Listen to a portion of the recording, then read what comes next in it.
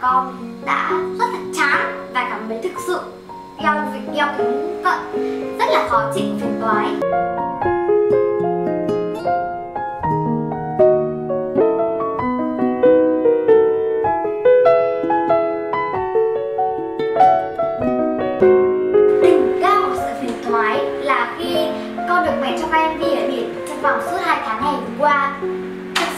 Nghĩa đã rất khó khăn để cho con quay được những cái cảnh quay mà không đeo kính vậy nên khi mà mẹ con hỏi rằng là con có muốn sử dụng kính phương pháp mới không, thì con sẽ không cần phải đeo kính gọng nữa.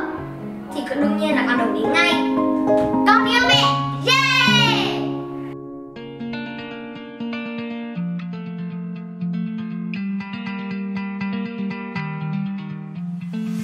Bút biệt số nhá.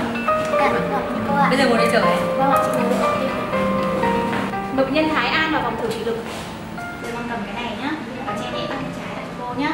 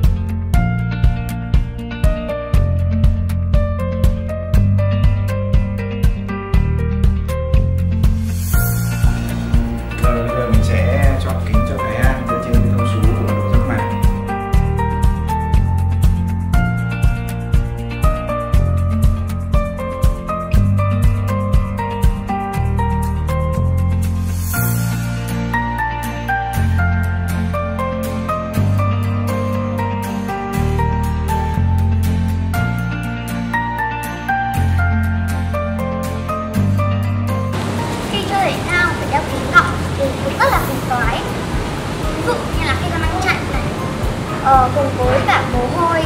Đó khiến mình trơn và nó rơi phát rất luôn. Hay là khi mà con đang đeo kính để con à, chơi bóng thì khi con ném rổ thì bóng bật lại cũng phát vào mặt con thì thực sự là gọng kính nó bị ấn sâu vào bên trong mặt rất là đau khó chịu. À, đây là cái tai nạn nho nhỏ khi mà con chơi bóng rổ.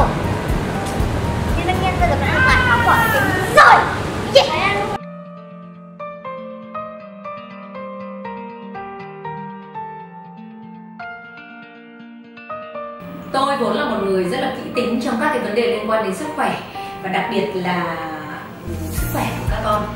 Thì trong tất cả những cái uh, lần mà đi uh, phải đi đo kính, đi uh, chọn kính khi mà Thái An bị cận thị thì tôi đều cố gắng sắp xếp thời gian để trực tiếp đưa con đi và các cái địa chỉ thì tôi cũng đều đã phải xin được tư vấn bởi những người bạn làm trong ngành y để cho nó cẩn thận. Thì ngay cả với phương pháp autopay này thì tôi cũng được biết đến qua sự giới thiệu của một người anh là tình nguyện viên ờ, cùng hoạt động trong chương trình mang âm nhạc đến bệnh viện từ nhiều năm nay. Ban đầu thì tôi cũng bán tín, bán nghi ờ, khi được giới thiệu một cái phương pháp gì đó mà lại đeo kính vào ban đêm. Nhưng đến ban ngày thì lại được ờ, giải phóng hoàn toàn khỏi cái cặp kính cận. Ờ, nhưng mà tuy nhiên thì Thái An rất là háo hức trước một cái tương lai là không phải đeo kính gọng nữa cho nên là tôi cũng đánh liều. Nhưng mà tôi cũng cẩn thận là đến phòng khám và tìm bằng được tìm vào bằng được. À, bác sĩ Đạt là người ờ, là người đứng đầu của phòng khám Tuệ Anh để mong là có được những cái tư vấn mà chặt chẽ ờ, và chuẩn xác nhất. Thì cũng rất là may thì anh Đạt thì lại cũng biết Thái Thùy Linh từ rất là lâu rồi cho nên là anh rất là nhẫn nại trả lời 1.800 câu hỏi của tôi, cả điện thoại, cả tin nhắn nữa, trong suốt nửa tháng trời tôi đã tìm hiểu và cân nhắc rồi thì đến quyết định là cho con sử dụng phương pháp à, mới, phương pháp mà định hình giác mạc AutoK Lần đầu khi Linh đến với phòng khám Tuệ Anh thì à, tôi đã nhận thấy ờ, cô là một phụ nữ rất là sắc sảo và có hiểu biết rất rộng. Vì vậy mà cô rất thận trọng với cả những cái thông tin mình quảng cáo. Ờ, tuy nhiên ờ, khi tư vấn với Linh và với nết về phương pháp trình hình giác mạc AutoK thì tôi đã đưa ra những thông tin rất đầy đủ và khoa học để cho hai mẹ con được nắm rõ.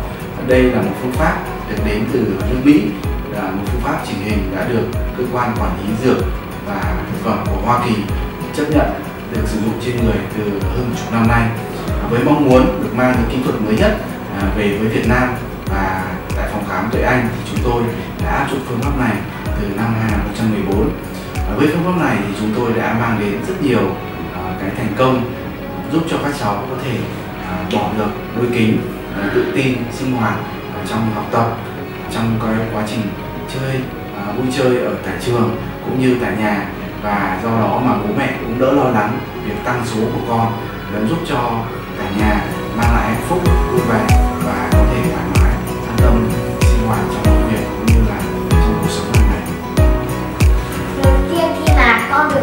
Kính thì tại vì con hơi lười động như là phải thấy hơi lâu thiếu vào nào. Thì đến đây thì con con đi bỏ cuộc. Thì um, chơi đây thì con muốn chia sẻ với những bạn nào mà đang muốn đeo kính và cũng bị nản như con. Thái An thì là một em bé cũng hơi thiếu kiên nhẫn một chút.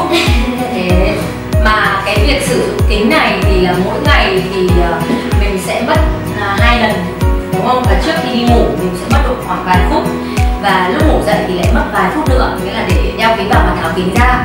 Cho nên là uh, tôi có yêu cầu ờ, Thái An là phải cam kết là tuân thủ nghiêm túc đúng không? Tất cả các cái việc từ vệ sinh tay này rồi là vệ sinh kính rồi là đeo như nào cho nó đúng cách.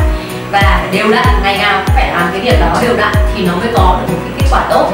Thì Thái An đã phải cam kết uh, rất là nghiêm túc với mẹ thì mẹ mới cho sử dụng uh, cái phương pháp này và sau ờ, khoảng một tháng nếp sử dụng cái kính này thì trộm vía là kết quả mang lại rất là tuyệt vời. Thì ờ, và bây giờ thì nàng thì lại còn còn nhiệt tình hơn cả mẹ. Cái là nhắc mẹ là phải ờ, cài đặt cái nhắc nhở của điện thoại để đến để tái khám. Cái là trong 3 tháng đầu thì mỗi một tháng thì con sẽ đến để khám lại một lần để đảm bảo là cái kính nó rất là vừa vặn và nó nó thực sự cái phát huy tác dụng tốt nhất với các con.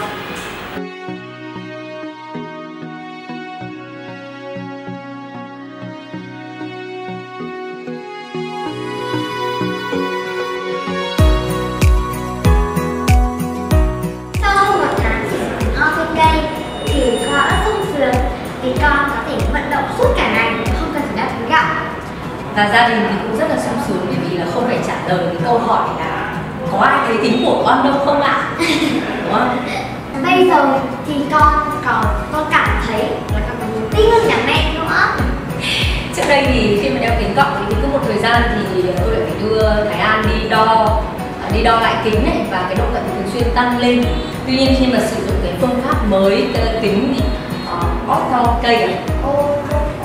cây thì ờ, cái ờ, độ cận con là được ghi nhận là không không có tăng lên nữa và tôi cũng đỡ được một cái nỗi lo là con sẽ phải sớm đi chứng cận thị thì ờ, những gia đình có con ừ, mà cận thị giống như Thái An có thể đến phòng khám mắt với Anh, Eye Care 19 Nguyễn Bình Khiêm để tìm hiểu về cái phương pháp này. Ở đây thì các bác sĩ và chuyên gia sẽ tư vấn rất là nhiệt tình.